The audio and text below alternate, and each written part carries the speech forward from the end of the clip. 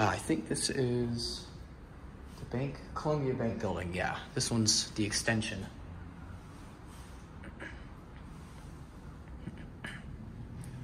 At first glance, this may look like a hydraulic.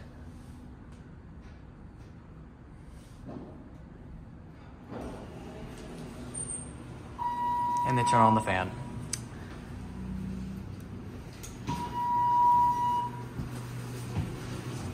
Like the red LEDs on this. Yeah, that's pretty uncommon. Hashtag and elevator fans.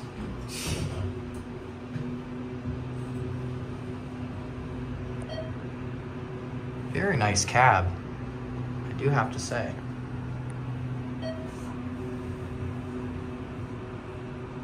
Not too bad for a Synergy. Yeah. It's pretty smooth. Yep.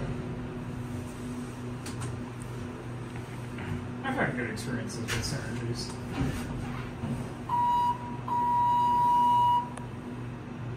Evolutions are definitely my favorite. Evolution is a million times better than Yeah. Synergy. These ones, this one's seems pretty solid. However, Mhm. a lot of synergies that I've seen are essentially EcoDiscs, but without the glitchy controllers. Yeah.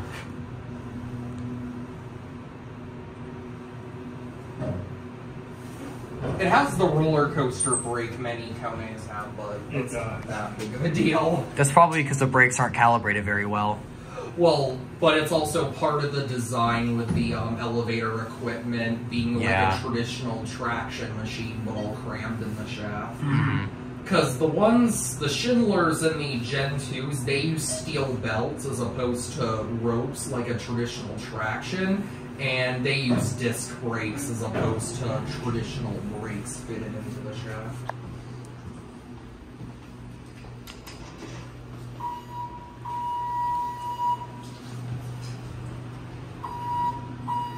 And the Dover trick still lives on with this elevator. Send it to one. I believe even modern TKEs use uh, parts of Dover controllers, but we'll see what happens in 2023. Yeah, I think we're about to witness a major genericization of TK. We already have with a name. Ha. Yeah, but I think the fixtures are going to be the next thing I go.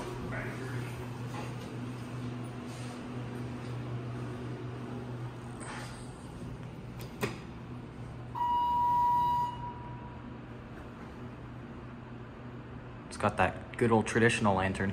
Yep. And I'm that. glad they still use that after all these years. Mm-hmm.